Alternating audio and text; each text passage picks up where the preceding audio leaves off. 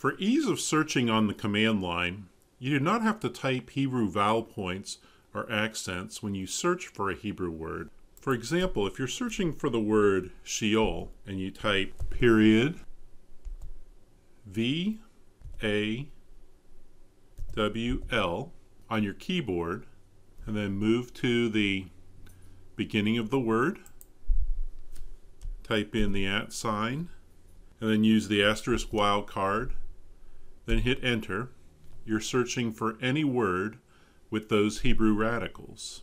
But if we take a look at the lexicon for that word, I'll right click on it and choose Look Up Lemma in Lexicon Browser. And let's view this in the Holladay Hebrew Lexicon. We see that there are two words that use these Hebrew radicals, the Shin, Aleph, Vav, Lamed. The word Sheol and the word Shaul. So how do we search for either Sheol or Shaul, but not search for the other word?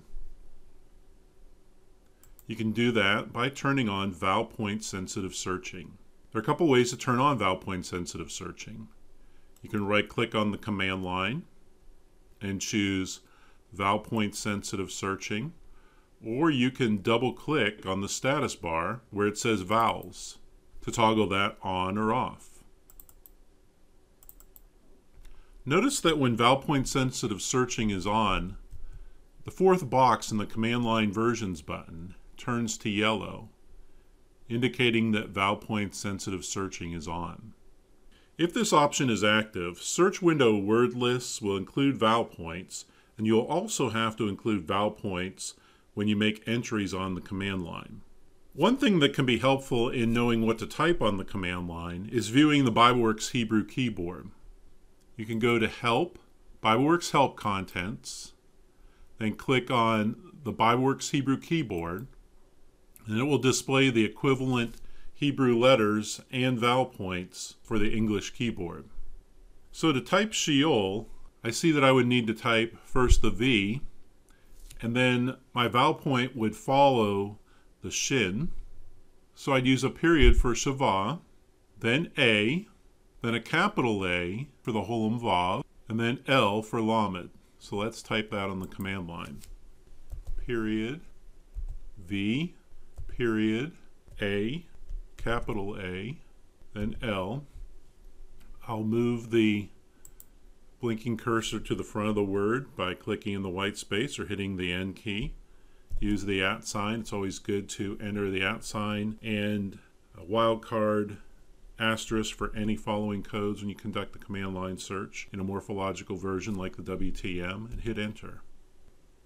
Thus I've searched for only the word Sheol. Now if I want to search for only the word Shaul, let's bring up the BibleWorks Hebrew keyboard again. In this case, I'll be typing V and the apostrophe for qamets, then A, capital W, and then L for the Lamed.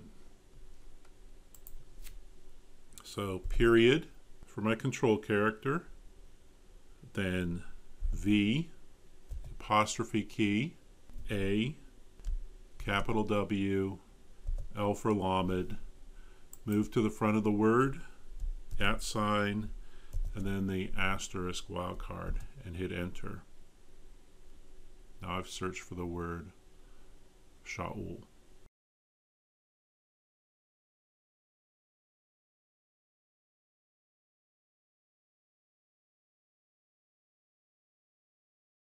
Command line can sometimes get rather complicated with vowel point entry enabled because you can easily type multiple vowels on a single consonant and that might not be visible on screen because the vowel points will be on top of each other. So you may need to take a look at the underlying ASCII text. You can right click on the command line, and when I turn on reveal text, I can now see the different keyboard strokes that it took to give me those multiple vowel points on that word.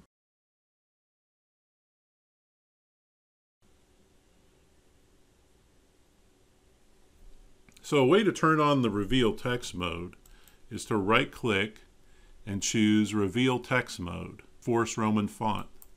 And I can always go back to viewing the non-reveal text mode by right-clicking and choosing reveal text mode again so it's unchecked.